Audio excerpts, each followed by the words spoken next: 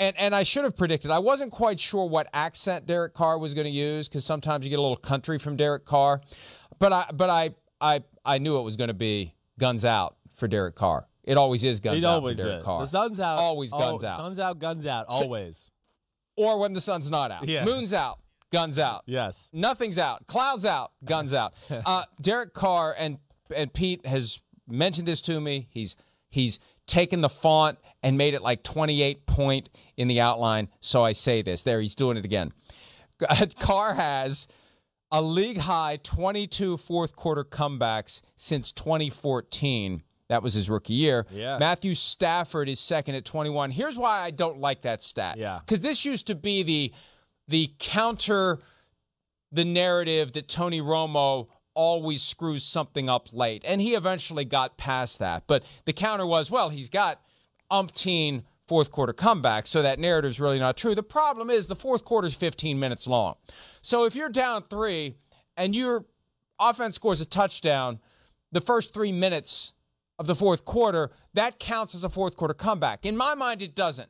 In my mind, it's the last five minutes. Yeah, That's you. the stat I want to see. Right. I don't care if you took the lead for good with three minutes left or three minutes in to the fourth quarter. I care whether or not you took the lead for good with just a few minutes left in the game. Yeah, I, I understand. There is a definitely a difference there to taking, but but uh, I would say I don't think the Raiders were holding 12 minute leads uh, later in the fourth quarter too, Mike. I would bet you a lot of those comebacks are closer to what you're saying than the Raiders taking the lead with 12 minutes left and that great Raiders defense we've seen over the last six years stop them. So you know, I I think you got to give them credit at that. But you're right, the stat is flawed from that standpoint, 100 percent. Um, but hey, Raiders offense looked good, had a lot of answers, explosive plays, not even 100% healthy Josh Jacobs, a new offensive line finding their way. And I think maybe like the the the the brightest spot, and I don't want to change the subject. I haven't even literally looked at our rundown, just the defense in general, right? I mean, the defense I think was the shocker uh, almost as much as you know Carr moving the ball in the Ravens once they got their their feet underneath them. But the defense really going down fourteen nothing from that standpoint or that point on. I mean, they really controlled the football game for the most part too. I mean, it's other than Lamar Jackson magic runs and like one or two throws that led to the one touchdown drive for the Ravens in the second half. I mean, there wasn't a whole lot to talk about with the Ravens on the offensive side of the ball. So Gus Bradley, another guy, new addition to that team who invented the Seattle scheme. Gus Bradley invented the Seattle scheme up there with Pete Carroll, and you could see it came through for them last night. And and, and uh, they're they're going to be a different team on defense. Not saying they're going to be great, but I don't think they're going to be a pushover this year. One thing that was palpable if you watched the game last night, it never shows up on the stat sheets. On both sides of the ball, Yeah. it was physical. It was. There were hits. Hits. Whether it was in the open field, whether it was in the scrum, it was a physical game. And at one point, I thought maybe 17 games really isn't a good idea. you can't play 17 games like last night. And maybe it's a primetime game thing, but we saw that that extreme effort by the Cowboys on Thursday night, the 58 passes, we have said clearly that is not sustainable. And of course, that riles up some of the folks on Twitter who think you can just dial up 60 passes a game and it's going to have no adverse physical effects on the person throwing 60 passes a game. And the hitting last night, that's not sustainable either, Chris. Guys are not going to make it the full season if they hit like that every single game. There was some serious old school hitting going on last night. Legal, Yeah. but but very significant and impactful. Yeah, no, I mean the game is crazy right now. We just got more fast people, big people training all year long. I got my personal trainer. I know how much grams of protein and fat I'm going to eat every day, and that's where the game has become insane. Even from compared to when I played, I mean, 12 years ago, it, it's jumped up another level. And hey, we know the Ravens, right? They're going to be physical. That that's their mo. We know that. It's one thing about like Jon Gruden. I don't think he always gets credit for. It. Gruden's teams have been generally physical football teams. Maybe they're not always good enough to really present that over the last few years. But hey, it's about pounding the rock, running the football, you know. And then the defensive side of the ball, hey, that that you know he does have a like we've talked about maybe with Kyle Shanahan, they, they want guys that don't hesitate. And I do respect that about the Raiders. We've seen them getting a lot of hitting matchups with the Chiefs last year and some other teams where you go, well, they don't back down from anybody. And when, you know, Gruden's a psycho and Gus Bradley, a defensive coordinator, he's a psycho. And then your special teams coach slash assistant coach, Rich Bisaccia, he's a psycho yeah, they bring out the psychoness in their football players to where it's just it's it's it's balls to the wall. And that's all there Hang is on. to it. Sorry, I guess I shouldn't Hang say on. that one. Sorry, London. I don't know about that one. Hang on. I might have Hang crossed the line there. So rein me Hang in, on. Mike. Wee-hoo. Hold on there, horsey. Okay, that's I won't say that again. First of all, I think it's to the wall, not on the wall. Oh. but uh, but but but regard- regardless, I don't even know what I said. it's, it's a, it's a, it's only you, only you would have a Simmsism embedded within a wholly inappropriate statement. But I want to go back a little farther than that, Right. To psychoness, because Yeah. I got a feeling yeah.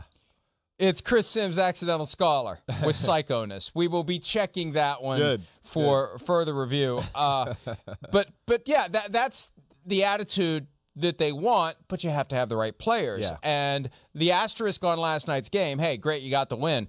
Clelin Ferrell, fourth overall pick, 2019, a healthy scratch. Another indictment of the drafting that they've done in recent years. Now, that's balanced out by Maxx Crosby, a guy they got Right. late in the draft that year, who's far better than Clelin Ferrell. Yeah. But with that fourth overall pick, I mean, we can pull up the 2019 draft. They could have gotten uh, a lot better player than what Clelin Ferrell has turned out to be. And uh, uh, hey, Mike Mayock, I saw him on the sideline last night watching the game. They don't make the playoffs this year. He's going to get the blame for everything that's gone wrong with the players that they don't have. And Gruden's going to take the credit for what they're doing now that is working. And they're 1 and 0, and you know what? So is everybody else in the division. So it's a push through week 1. Now, they beat the Ravens. It's not like they beat some cupcake, but but they're 1 and 0 and so are the Chiefs and so are the Chargers Yep. and so are the Broncos.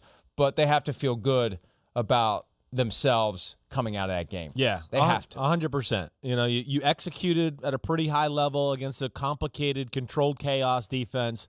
The offensive line, you know, that was a big question mark, right? They were pretty good. They really were. You know, run game and pass game.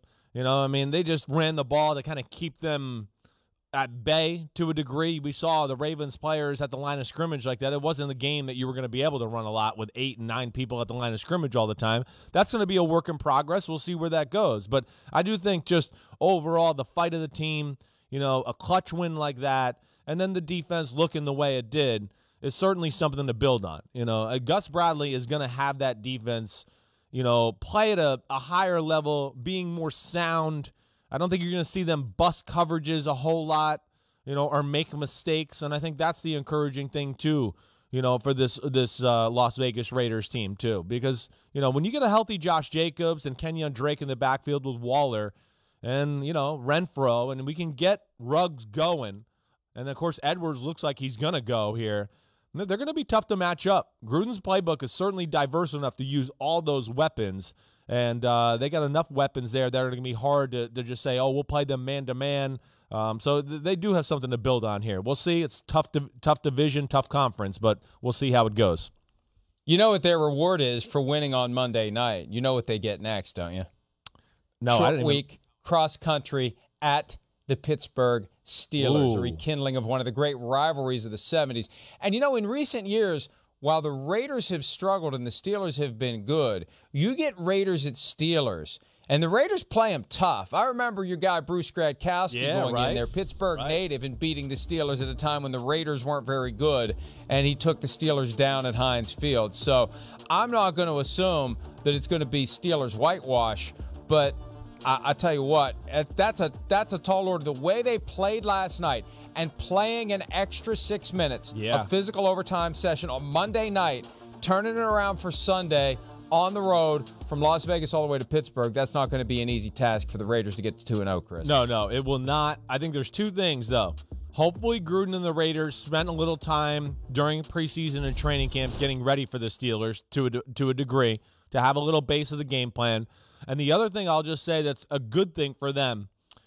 Steelers defense is controlled chaos too, just like Baltimore. Not exactly the same scheme, but again, it's lots of pressures, different looks on the back end, and that's where I, it will help. It will help the Raiders the fact that they got to play the Ravens and deal with a lot of different looks, uh, and now go to the Steelers to where you know, again, the Steelers didn't blitz a lot, and we'll talk about that later uh, against the Buffalo Bills. But I don't think that's going to hold true for long. They're they're still going to be a pressure defense when when they want to put pressure on an offense and the quarterback.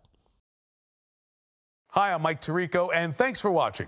Make sure to hit subscribe for the latest news and highlights from NBC Sports.